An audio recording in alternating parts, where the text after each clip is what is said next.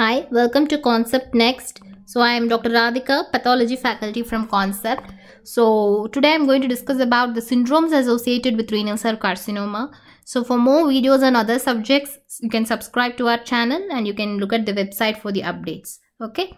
So now moving on to the question. A 56-year-old male presented with hematuria, loin pain and swelling in the loin. Histopathological examination is shown below.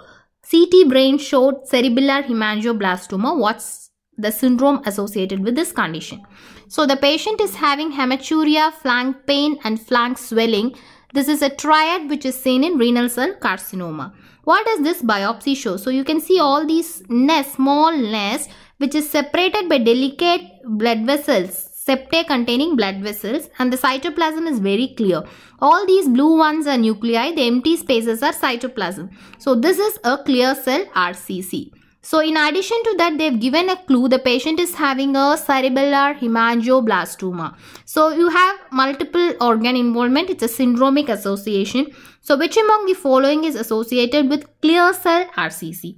So the answer is VHL syndrome. So what you should know about VHL syndrome? So the gene for this is located on chromosome 3p.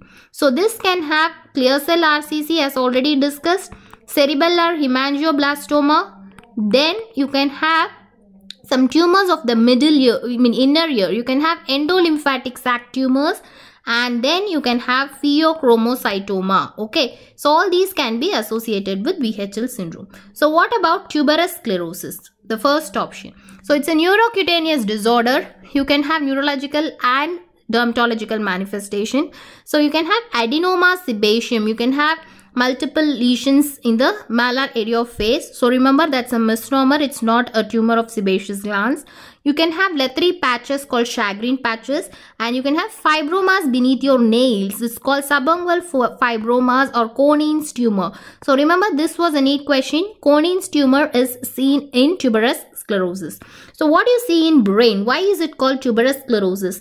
You see multiple tuber-like lesions in the brain. What do you mean by tuber? So they are something vegetables which grow underneath the ground like your potato. So in brain you can see multiple hamartomatous lesions. What do you mean by a hamartoma?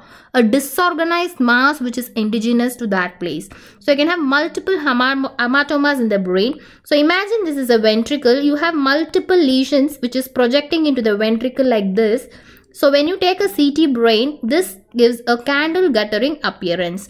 So candle guttering appearance is seen in tuberous sclerosis. Then these patients can develop a CNS tumor called SEGA, subependymal giant cell astrocytoma, which is a low grade grade 1 CNS tumor. Okay, so all these you should remember. So hamartomas, SEGA and then Koenen's tumor they can develop another tumor called angiomyolipoma. So they can have a vascular component, muscular component and an adipocytic component.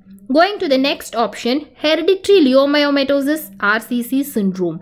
This hereditary leiomyomatosis RCC syndrome is associated with mutation in fumarate hydratase gene. Okay, so I told VHL is associated with clear cell RCC whereas hereditary leiomyomatosis RCC syndrome is associated with papillary RCC. So you'll have papillary structures. In addition, they can have leiomyomas either of the uterus or in the skin. So if you have leiomyomas which is a smooth muscle tumor in the skin, we call it as a pilar leiomyoma. Okay, so clear cell RCC is associated with VHL, papillary RCC is associated with hereditary leiomyomatosis RCC syndrome. Next going to Birt-Hogg-Dube syndrome.